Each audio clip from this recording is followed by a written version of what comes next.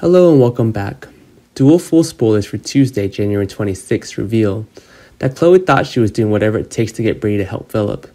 She may, however, find herself with serious regrets for dragging him into this mess when Brady ends up fighting for his life.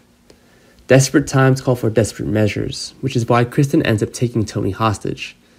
DOOL spoilers say Kristen will naturally panic, so will use her own brother as part of the next plan. Kristen will likely decide that she can't stay behind bars as the love of her life draws near death and struggles to survive. It turns out that Kristen will be taking Tony hostage, so she could get her hands on a guard's gun as part of an escape plot. We'll really get to see the nuances of old Kristen here, so look for this derailed villain turned mom.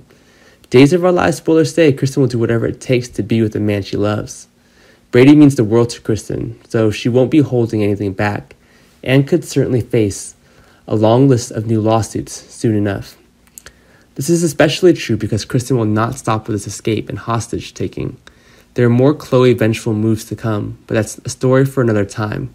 We'll keep you informed as more days news and updates emerge. It took a lot for Kate to admit that she had fallen under Jake's sexy spell, but with Gabby back in the photo, she can't help but feel insecure. When Kate asks if the former mechanic still has feelings for Stefan's widow, Will she like his answer? Pipe desires will become more difficult for Jake to deny after having a hot dream about Gabby. DOOL spoilers say Jake will fall asleep and likely have sex with Gabby in Dreamland. Gabby will certainly be at the center of this burning dream, and the reason Jake is taken aback once he wakes up. Jake can try to tell himself that he is just his dream and nothing more, and he will do his best to stay attached to Kate and the new spark they have found. However, Gabby will be hiding around every corner, and she'll be eager to raise doubts for Kate and Jack along the way. Spoilers today say Gabby hopes she can steal Jake's heart and have him focus on their own future together. Jake can't help but dream of it, but he might also start to fantasize when he's awake. Gabby's a powerful woman with a real connection to Jake, so she will give anything, and Jake will have a hard time dealing with temptation.